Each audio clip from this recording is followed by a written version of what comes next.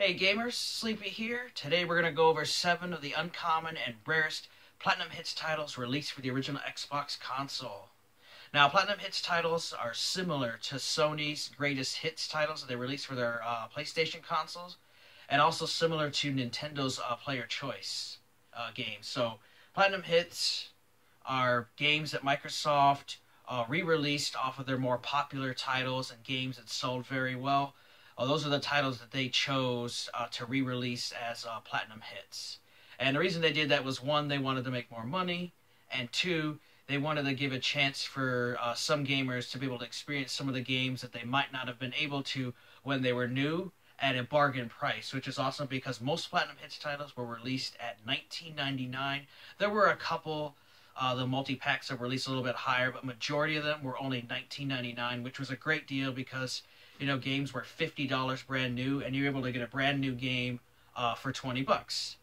Now, majority of the original Xbox uh, library is easy to find. Uh, same thing is for their Platinum Hits games. A lot of the Platinum Hits titles are very easy to track down. Uh, they're not usually too expensive, uh, but there are a handful of games that are really difficult to track down and some are just extremely rare. Uh, of these seven here, I'm going to show you. I only was able to find a couple of my own. Uh, the main ones here that I had to get uh, were thanks to other collectors and friends here on YouTube and Facebook and stuff. You know, I would not have been able to find these without help because they're just that rare and uh, uncommon to find. So with that, we're going to go start off this with uh, number seven. And this one is a sports title. This one is uncommon, and that is EA Sports MVP Baseball 2005. Now, this title is not tremendously difficult to find. It. It is uncommon. Uh, I found this one on eBay. It was like five or six dollars. wasn't too much. Uh, but at any time on eBay, I maybe see one or two of these uh, every couple months. You know, it's not like they're on there all the time like some of the other titles. Uh, but it's definitely not something I would consider rare since I've seen like four or five of them this past couple months but definitely a title to keep an eye out for if you're collecting the Platinum Hit set. So number seven is EA Sports MVP Baseball 2005. Number six is a racing game, and it's awesome, and it is Forza Motorsport. Now this game is awesome. It launched an amazing Forza series. You know, it's still going strong today on the Xbox One. Awesome game.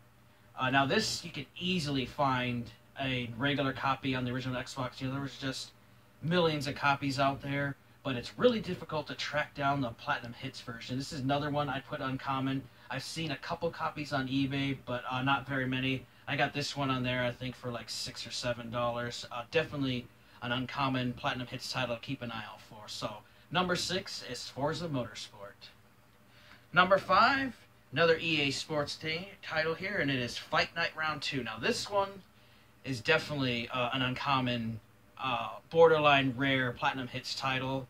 I've only ever seen two copies on eBay. One time was in a lot for like 25 bucks, and the other one was for a brand new sealed copy for 50. But luckily, I was able to get this as a free gift for Christmas last year from my good friend Tom, TB46667, the Golden Age Gamer. He was awesome. He was able to find this at one of his local game stores for like six bucks, and uh, he sent it to me. So I was really really happy to get this and so excited because I could not find it locally and I missed those two on eBay and luckily he was able to send it to me so I was so happy to have this collection.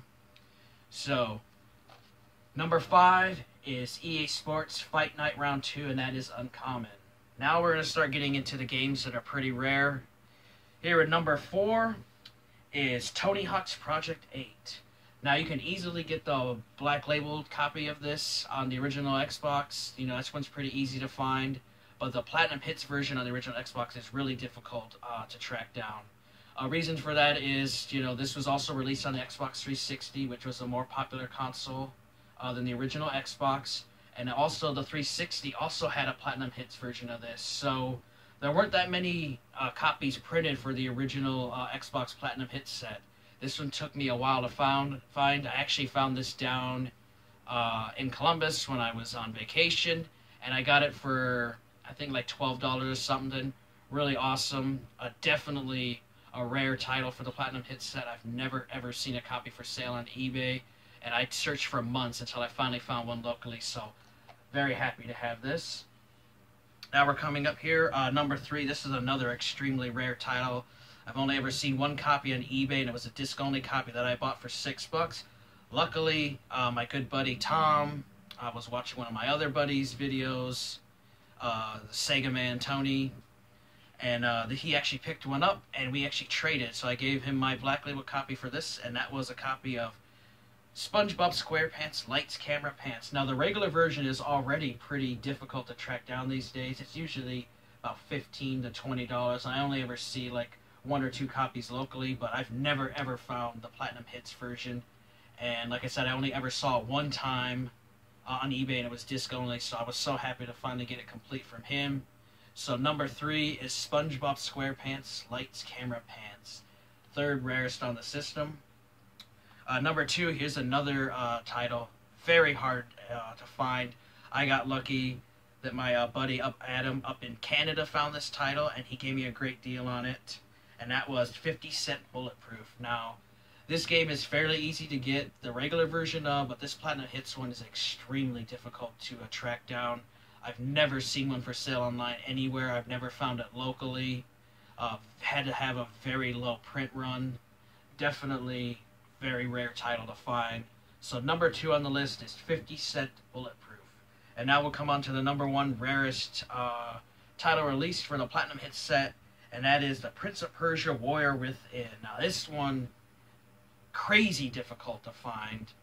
Uh, whenever you go on eBay, there's anywhere between 150 to 200 uh, copies for the original Xbox, you know, the regular version. Not a single one of them ever has been the Platinum Hit set, and I've been looking for like a year now. I've never seen one for sale on there.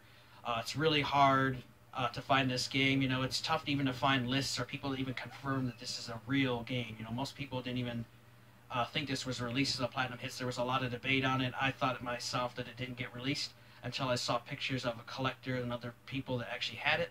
So I found out that it actually did exist. And I got this from my good buddy Simon in Canada, which is awesome. So very happy to get number one.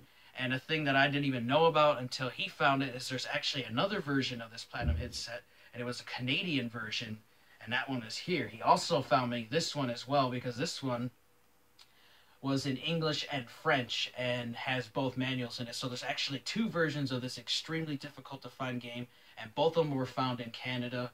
So this one definitely is a Canadian exclusive only. Uh, this one was released in uh, Canada and America, but both of them had extremely low print runs.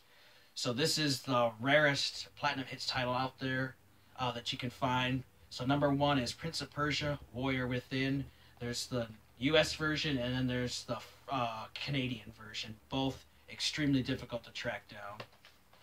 Now then, those top three games, you could kind of move them around to spot the rarest, you know, which one's rarer than the others. It's really difficult to say, but they all had to have had extremely uh, low print runs, and they're definitely uh, not easy to find. Luckily, you know, I wouldn't say that they're going to be worth a whole lot of money right now since the original Xbox isn't as popular to collect for as other systems, but it's getting more popular.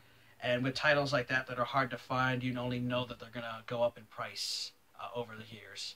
Hope this list has helped you guys out. Uh, if you have any questions, just leave them down below in the comments. I want to thank you guys for watching.